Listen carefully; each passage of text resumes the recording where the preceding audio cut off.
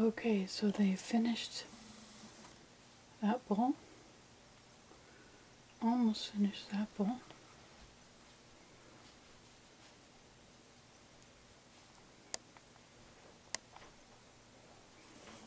And how about her?